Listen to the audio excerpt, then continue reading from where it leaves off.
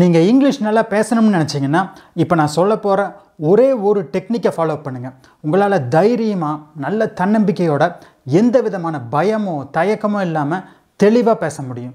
யூடியூப்லேயோ இல்லை ஏதாவது டிவி சேனல்லையோ இல்லை பாட்காஸ்ட்லேயோ இல்லை ஆடியோ புக்லேயோ இங்கிலீஷ் நல்லா பேசுகிற ஒருத்தரை கண்டுபிடிங்க. அவர் பேசுகிற விதம் அவரோட ஸ்டைல் இதையெல்லாம் நல்லா கவனிங்க. அவங்க எப்படி பேசுகிறாங்க அவங்களோட வாய்ஸ் எப்படி ஏறி இறங்குது அவங்களோட பேசுகிற ஸ்டைல் எப்படி இருக்குது அவங்களோட பாடி லாங்குவேஜ் எப்படி இருக்குது அவங்க எப்படி உச்சரிக்கிறாங்க இதையெல்லாம் நல்லா உத்து பாருங்க. இதெல்லாம் பார்த்து ஒரே ஒருத்தரை மட்டும் சூஸ் பண்ணுங்கள் அடுத்து நீங்கள் செய்ய வேண்டியது அவர் பேசுகிறத கவனிங்க. ஒரு சென்டென்ஸ் முடிஞ்ச உடனே வீடியோவை பாஸ் பண்ணிவிட்டு அந்த ஒரு சென்டென்ஸை திருப்பி சொல்லுங்கள் அவர் எப்படி சொல்கிறாரோ அதே ஸ்டைலில் திருப்பி சொல்லுங்கள் அந்த குரலோட ஏற்ற இறக்கம் தொனி இதெல்லாம் சரியானபடி சொல்லி பாருங்க. இப்படி மூணு தடவை அதே சென்டென்ஸை ரிப்பீட் பண்ணுங்கள் அப்புறம் அடுத்த லைனை கேளுங்க. கேட்டுட்டு பாஸ் பண்ணிவிட்டு திருப்பி மூணு தடவை நல்ல உச்சரிப்போட சொல்லி பாருங்க. இதை ஒவ்வொரு நாளும் ஒரு மணி நேரம் செஞ்சு பாருங்கள் இந்த டெக்னிக் ஏன் எஃபெக்டிவாக இருக்குது? நீங்கள் ஒவ்வொரு சென்டென்ஸை கேட்கும்போதும் அந்த ஸ்பீக்கரோட உச்சரிப்பை நல்ல கவனமாக கேட்குறீங்க அப்போது ஆட்டோமேட்டிக்காக உங்களோட உச்சரிப்பு ஷார்ப்பாகும் கொஞ்சம் கொஞ்சமாக இங்கிலீஷ் கிராமர் ரூல்ஸும் உங்கள் மனசில் நல்லா பதியும்.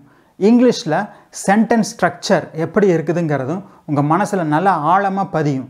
இப்படி ரிப்பீட் பண்ணி பார்க்கும்போது நீங்கள் உங்களோட போஸ்டரை நல்லா மெயின்டைன் பண்ணுங்கள் அதாவது கொஞ்சம் நிமிர்ந்து நின்னோ இல்லை நிமிர்ந்து உட்கார்ந்தோ சொல்லி பாருங்கள் ரெண்டாவது நல்ல கணீர்னு சத்தமாக எக்ஸ்ப்ரெஷனோட சொல்லி பாருங்கள் போக போக உங்களுக்கு இங்கிலீஷ் லாங்குவேஜோட இன்டனேஷன் அதாவது ஏற்ற இறக்கத்தோடு பேசுகிறது இயற்கையாக வந்துடும் இங்கிலீஷ் படிக்கும்போது நமக்கு வர ஒரு பெரிய பிரச்சனை எந்த இடத்துல ஸ்ட்ரெஸ் பண்ணணும் எந்த இடத்துல பண்ணக்கூடாதுங்கிறது நமக்கு தெரியாமல் போகிறது தான் ஆனால் இந்த மெத்தடில் திருப்பி திருப்பி நீங்கள் சொல்லி பார்க்கும்போது நமக்கு தன்னை போல் ஏற்ற இறக்கத்தோடு பேசுகிற ஸ்கில் வந்துடும் இங்கிலீஷ் ஃப்ளூயண்ட்டாக பேசுகிறதுனா கிராமர் மிஸ்டேக் இல்லாமல் பேசுகிறது மட்டும் இல்லை சரியான இங்கிலீஷ் உச்சரிப்பும் ஏற்ற இறக்கமும் ரொம்ப முக்கியமானது. இது எல்லாமே ரிப்பீட் பண்ணுறதுல தன்னை போல் வந்துடும் திருப்பி சொல்கிறேன் ஒரு லைன் ஒரு தடவை கேளுங்க மூணு தடவை ரிப்பீட் பண்ணுங்கள் இப்படி தினமும் ஒரு மணி நேரம் பண்ணுங்கள் ஒரு பத்து நாள்லேயே நல்ல ரிசல்ட் கிடைக்கும். ஒரு மாதம் கழித்து பாருங்கள் உங்களாலேயே நம்ப முடியாது. இங்கிலீஷ் பேசுகிறதுல உங்களுக்கு எவ்வளவு தன்னம்பிக்கை வந்திருக்குதுன்னு உங்களுக்கே தெரியும்.